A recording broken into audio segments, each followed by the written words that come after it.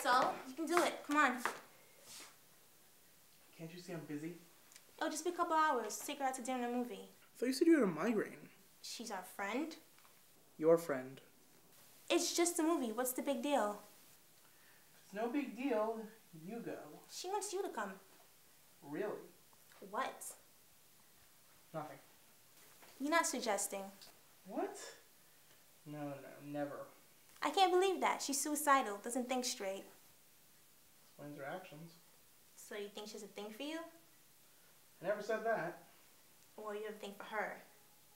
That's outrageous. How can you even say that?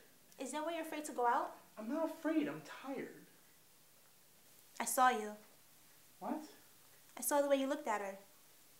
When? How? What way? Yesterday, you had that special look on your face.